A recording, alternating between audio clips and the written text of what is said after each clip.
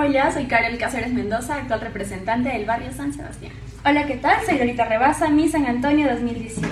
Queremos invitarlos este sábado 18 a la fiesta Pro Salud para Cristi Rodríguez. Será en Discoteca El Palmar. Así que no se lo pierdan.